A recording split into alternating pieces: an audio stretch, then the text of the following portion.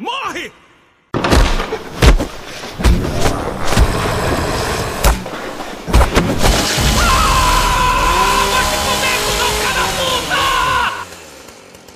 Os manezão estão tudo com inveja.